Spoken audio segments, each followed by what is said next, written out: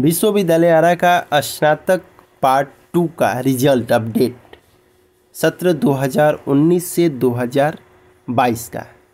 स्नातक part two का result जो है, विश्वविद्यालय जारी करने में लग गया है।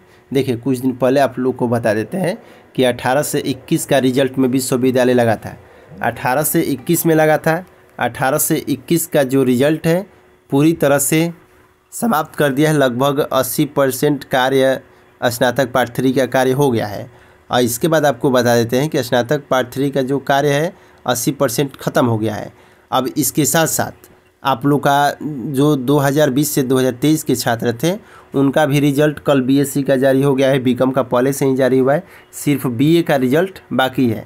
तो बीए का रिज़ल्ट बाकी है तो बीए का रिज़ल्ट के बाद ही आप लोग का उन्नीस वाले सत्र का रिज़ल्ट जारी किया जाएगा।